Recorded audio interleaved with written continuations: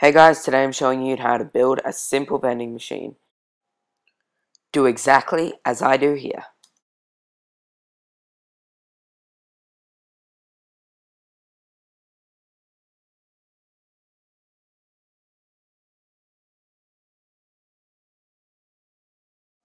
Fill the dispensers with anything you like.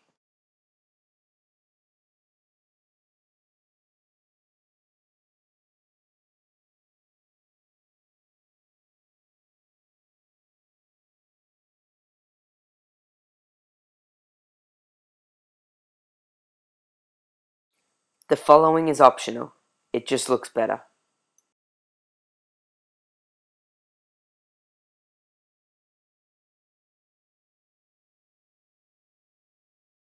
Now to test it, press the buttons of the items you want and they will all come down that chute.